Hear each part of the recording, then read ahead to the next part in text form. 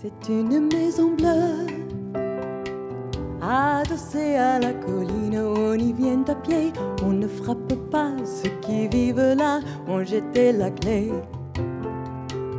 Si San Francisco s'effondre, si San Francisco s'effondre, San Francisco,